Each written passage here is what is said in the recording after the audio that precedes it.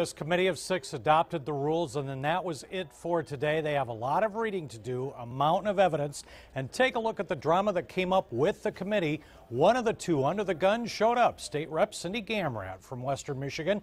You're going to hear from her in a second. Committee members were given binders with hundreds of pages of evidence, documents that outline allegations of misconduct and misuse of taxpayer resources to cover up their affair.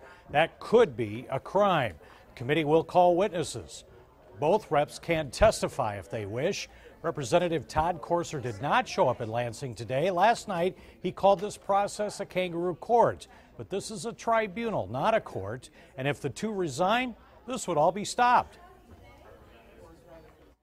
We are exploring all of the options short of an expulsion. It's not easy, um, trying to understand the process better, um, to understand the allegations that are brought against me better, um, so that I can help be part of that solution. Is it awkward for you to be here?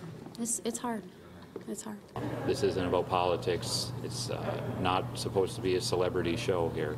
This is about the integrity of the institution. And I take that weight very, very seriously. And these are very serious criminal allegations, and to really get to the bottom of this, to really get to the truth, we need a law enforcement agency with subpoena power, with the ability to compel people to tell the truth and compel the disclosure of documents to get involved.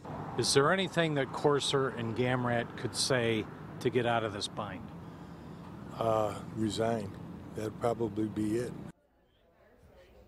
So, next hour at 5, what's next? Suffice it to say, it's going to be a busy next couple of weeks. Uh, Jim, Stephen, Heather? Certainly believe that is correct.